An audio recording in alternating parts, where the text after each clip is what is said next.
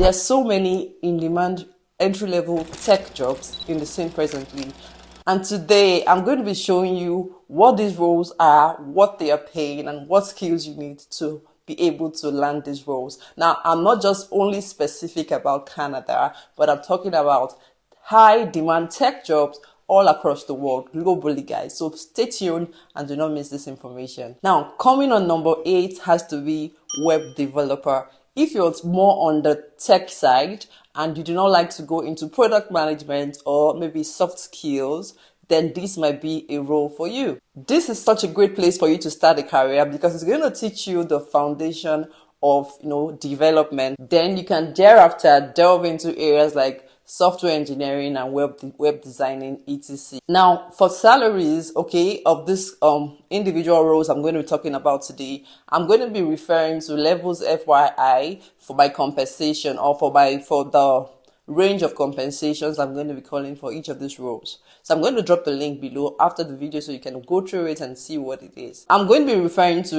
levels FYI because they give like a median or an average, you know, compensation for each of these roles. So you can know or tell what these roles earn, you know, averagely, okay, globally across the world. I'm going to leave the link below so you can go through it and see what it is. Now, like I said, the average salary of a web developer is about $148,000. Okay, guys, this is the average, it's the median salary. What this means is that it is not an entry level salary, okay? So the entry level salary could be about 80,000 to 90,000 dollars okay but the median what it means is that you can actually aspire you can get to that point and even more that's like the average and that, that's like the average you can make as a web developer. Now, coming on number seven is the UI UX designer.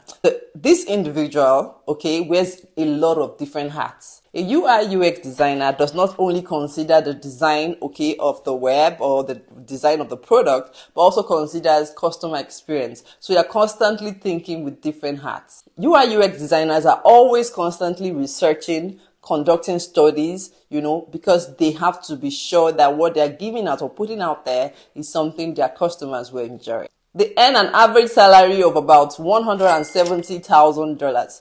Honestly, before now, I never knew that UI UX designers could make as much as $170,000. Guys, remember I said this is, these are not entry level amounts, okay? These are like the median, that the average you can find in these industries. Honestly, it blew my mind. Now, moving on to the number six role that is in hot in demand across the world, especially in Canada, has to be cybersecurity. Now, as AI continues to take over the whole world, more and more cybersecurity specialists will be needed. You might be wondering what and what these people do. What are their roles? What are their responsibilities? I'll tell you. The things they do is that they analyze network structures and they also test security measures in companies, such as software permissions and firewalls. Now, the second thing they do is ensuring that companies' data are secured, you know, protecting them from cyber attacks and all of that. The third thing they do is designing and implementing data recovery systems just in case there's a cyber attack incident. Okay. Now, these are the things that cybersecurity specialists do. Now, what, let's talk about the salary range. The median or average salary of a cybersecurity analyst or specialist is uh, for a junior role for a cybersecurity specialist uh, between $82,000 to about $90,000 is for the starting point of this role. Now, coming on number five is the product manager. I used to think that you require a lot of years of experience to be able to delve into this area, but guys, it's not true anymore. Product managers help to see a product from the visionary stage up until the end product of that product. So they are very vital, you know, people in any organization. Product managers are usually in control of the whole life cycle of the product. The median income or the average income of this set of people is about 195,000 dollars.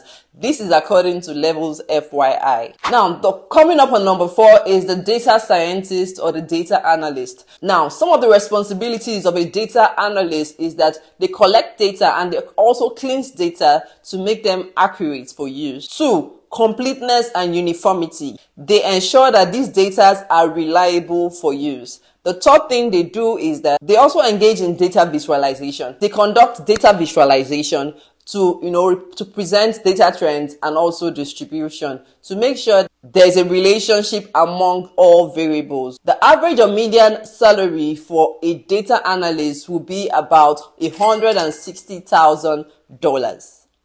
Guys, every of these amounts I'm mentioning today is in USD. So because I'm talking about a global situation right now. Now, moving on to number three is the cloud computing analyst. Now, cloud computing just got very, very common in the last three years. And I'll tell you why. This is because everyone now understands the importance of cloud.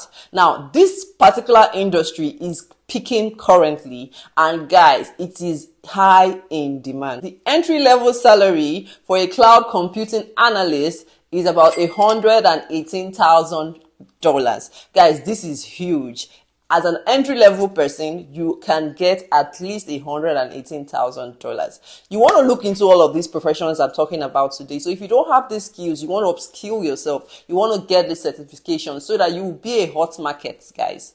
Don't dull. Now, guys, moving on to number two, guys. Moving on to number two is the full stack developer.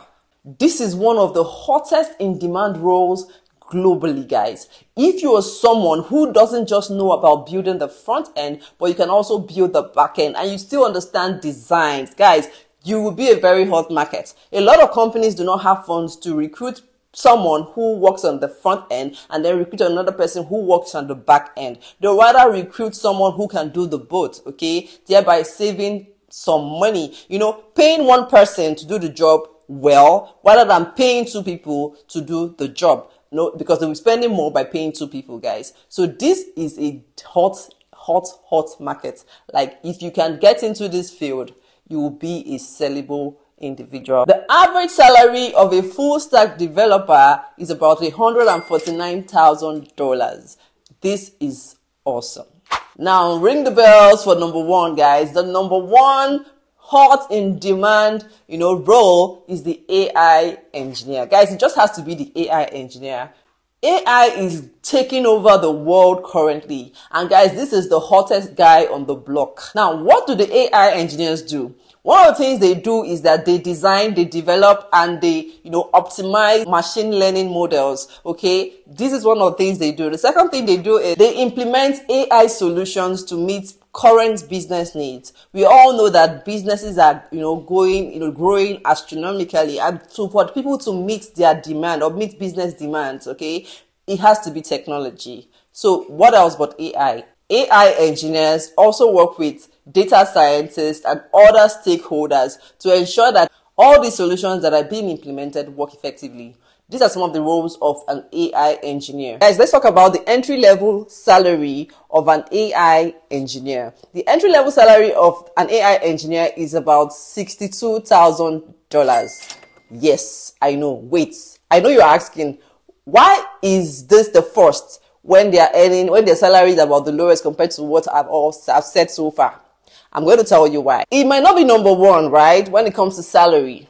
Okay. But as far as skills go, this is number one because every big corporate organization, okay, that has big dreams or big visions, okay, they need technology. So this skill is never going out of, you know, demand. It's never going out of demand. So it's a good time to get into this, you know, role or get a certification in this role. You know, this will help you become so sellable. This will help you, you know, become so hot in the market. So guys, all of these opportunities or roles I just talked about today will give you an opportunity to, you know, start up as a, you know, fresher, okay, get certified and then move. Okay, tech is not going anywhere anytime soon. It is here to stay. And this is the most secured industry you can think about anywhere in the world. So guys, I hope that this video will help you. If you're someone who is considering coming to Canada or coming to any country or relocating to any country in the world and you're looking for what is in demand currently. You want to get certifications in tech.